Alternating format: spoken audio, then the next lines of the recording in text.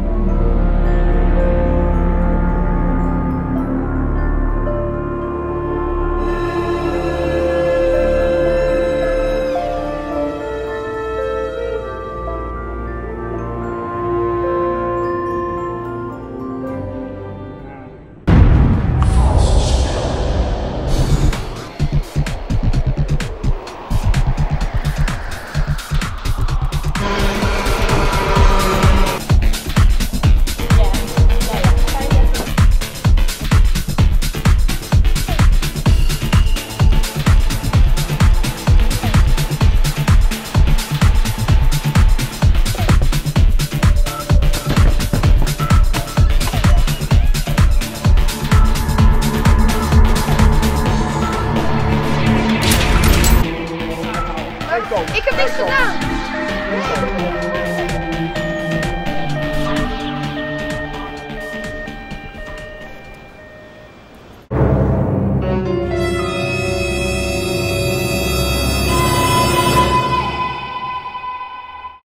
Vals spel. Binnenkort te zien in elke bioscoop.